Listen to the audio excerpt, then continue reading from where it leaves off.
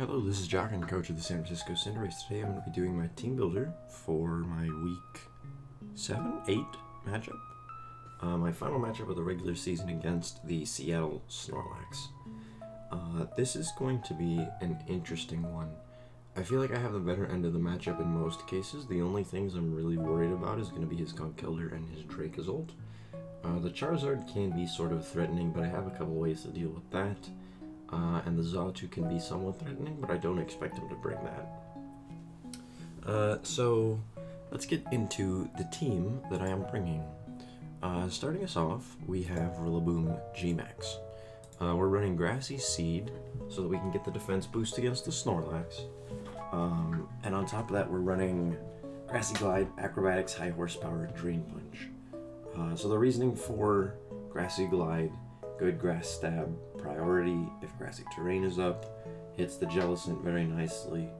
Um, the only thing we're really scared of on that front would be getting burned from a Will-O-Wisp. We're not carrying Heal Bell on anything this week, so that would be a problem. Uh, acrobatics is there to hit stuff like the Whimsicott. It's a good move that turns into 110 power once my Grassy Seed is gone. Um, it's going to be boosting my speed when I'm G-Max, which could be helpful. Uh, and then next we have High Horsepower. That's going to be there mainly for the Dracozolt. Uh, it's going to one-shot it even outside of G-Max, and I should be faster guaranteed as long as I get my Sticky Webs up with War Orbeetle. And then finally we have Drain Punch, which is mainly going to be there for the Snorlax. Uh, because I do expect a G-Max versus G-Max fight, Drain Punch is going to help me win that. Onto the EVs. Uh, as much as I wanted to change this to Adamant, um, I need to be at like 140 speed. If you look at um, Dracovish, you can see he's the same speed as the Dracozolt would be. Um, and I think the Dracozolt is likely going to be Choice Scarfed, but the Sticky Webs are going to neutralize that Choice Scarf, uh, so he would be at 139. And without going Jolly, I can't outspeed him. Uh, so I need to be Jolly, even though I would like to be Adamant for the damage this week. Up next we have the Dracovish. Like I said before, this is going to be a speed tie with the Dracozolt, so ideally I don't have him fighting Dracozolt this week.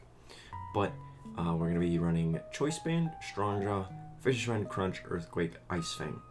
So the reasonings here, Fishious Rend, good damage to everything except the Jellicent. That's what the Crunch is there for. Earthquake is there for the opposing uh. And then we are carrying Ice Fang for the Whimsicott. Um, we could have carried Iron Head, but I felt that Ice Fang was a little better because it also hits the Dracozolt on the switch. So that's the idea behind that. Um, no Dragon move. I did debate on Dragon Rush or Outrage as the last move slot, but I felt that Ice Fang was a better option. EVs, uh, 252 attack, 252 speed, 4 special defense with max speed. Like I said, we have to speed tie the Dracozolt at least, and in webs, we will outspeed everything else because Dracozolt's the only one that's likely to be scarfed. Uh, up next, we have what I'm expecting to be probably my big sweeper this week would be Gardevoir. Uh, Gardevoir is going to be running an Expert Belt with Trace, Moonblast, Psychic, Calm Mind, Mystical Fire, 252 speed, 252 special attack. Same thing as the Rillaboom. I need it to be faster than the Drake Dracozolt, and unless it is timid, it's not going to be faster. Um, moves wise, Moonblast is there as good stab. Um, I had looked into putting, uh, I'll explain that in a second. Moonblast is there for good stab. Psychic is there to hit the Conkeldurr, um, as well as the Moonblast, but Moonblast is mainly there for Dracozolt. Calm Mind to set up. I have a couple setup opportunities, namely Jellicent is the best this week with Calm Mind that I can take advantage of. I can try and do it with Weezing, but I can only get one off with Weezing because I'll die to a Sludge Bomb otherwise. Um, so I have a couple ways to do it. Uh, Jellicent is the main way to set it up though. And then finally Mystical Fire because I have a feeling the Escavalier is coming. Uh, specifically to stop this Gardevoir. And Mystical Fire is going to two-shot it. Um, unfortunately it doesn't one-shot even with a Calm Mind, but uh, if I make a prediction on when it's coming in, then it's going to be two shots. So that's the idea with the moves there. Uh, the big thing with Gardevoir is that at this speed, it outspeeds everything as long as the Dracozolt is the one that's scarfed like I think it's going to be. Uh, it'll outspeed Whimsicott, it'll outspeed uh, not Charizard because Charizard doesn't get hit by the sticky webs, and not Xatu. But everything else it'll be faster than. So the big one is the Whimsicott. It would be faster than. Next we have Orbeetle. Orbeetle is the Suicide Lead Orbeetle set that I have brought a few times in the past. Its main job is set up sticky webs, and then it's carrying Psychic, Bug Buzz, and Shadow Ball to give it as much coverage as possible. I should say the other big reason I have two Psychic types this week, um, the Conkeldurr is a big problem with Mach Punch. Um, and both of these things, both Gardevoir and Orbeetle, four times resist Mach Punch. So I like having two different ways to take Mach Punches just in case one of them goes down, which I'm expecting Orbeetle to go down pretty quickly. I mean, he is the suicide lead. It depends on what he leads in turn, but I mean, it's possible Orbeetle ends up making it later into the battle, but we'll see. Um, like I said, Sticky Web, Psychic, Bug Buzz, Shadow Ball is two stabs, and Shadow Ball is there for the Jellicent. Um, I did have a couple other options. I debated on putting Body Press for the Snorlax or putting U-Turn to help switch out, but I felt Shadow Ball was more valuable because otherwise Jellicent could threaten me out. Uh, up next we have Umbreon. Umbreon is pretty standard. Uh, it's the one I've brought most weeks. It's going to be leftovers with Synchronized, Wish Protect, Foul Play, Toxic. Um, Wish Protect, Foul Play is practically standard on my Umbreon at this point. The thing I had been debating on was the fourth slot if I wanted Toxic, Yawn, or Heal Bell. I ended up going Toxic uh, because Foul Play will do a decent amount to the Jellicent, but having Toxic is very nice against his team because he doesn't have a Steel type outside of Escavalier. So I'll be able to I'll be able to toxic just about anything, and uh, Escavalier, it can come in on Umbreon, but it does take a good amount of damage from foul play, so I don't expect it to be um, his best Umbreon switching. Uh, so yeah, the foul play is interesting.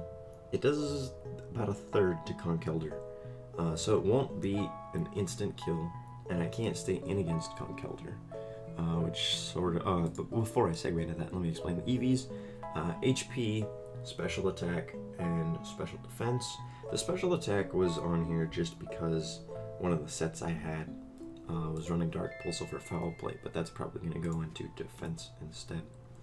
Um, like I said, Conkeldurr threatens me out, and that leads us to our last thing, Mudsdale. Mudsdale's here for the two main things I said gave me problems, Conkeldurr and Dracozolt. The only way Conkeldurr really bugs me if it's Facade or Ice Punch. Um, but even why did I hit that? Even if um, it is Ice Punch, I start getting my stamina boosts off, and I'll be okay. That's the main reason we're running Rest. So running Chesto Berry with Stamina, and if you're not sure how Stamina works, every time Mudsdale gets hit, it's going to get a plus one to defense. So if it takes a Mach Punch, now it's a plus one defense. If it takes a Psychic from Xatu, now it's a plus one defense. So it sort of snowballs itself. Um, and we're running Chesto Berry with Rest so that we can wake up immediately. We're running Body Press to take advantage of the stamina boosts, and um, this Mudsdale can also work as an effective Snorlax wall if I don't need it to deal with the Dracozolt, because this is a Bolt Beak switch in because it's a ground type. Um, and even if it hits with something like Dragon Claw or Ice Fang, the stamina boosts help ensure I'll be alive long enough to get my rest off. So he's mainly here as a Dracozolt stop, but uh, he can also be used for other things. Earthquake is there as his other big stab, and then he has Sleep Talk in case I need to recover after I've used my Chesto Berry. The biggest problem for this Mudsdale is going to be the Weezing. He doesn't have a move that hits it, even a Body Press isn't going to be doing much. But other than that, there's not much that wants to deal with him. Maybe the Whimsicott, uh, Xatu can carry Energy Ball, the Jellicent possibly, but there's not many things he has that enjoy dealing with this Mudsdale. But yeah, that's going to be the team for the week. Um, like I said, the big problems are going to be Conkeldurr, Dracozolt. As long as I can deal with them and not lose too many things along the way, I should be fine. Uh, but yes, thank you for watching and wish me luck.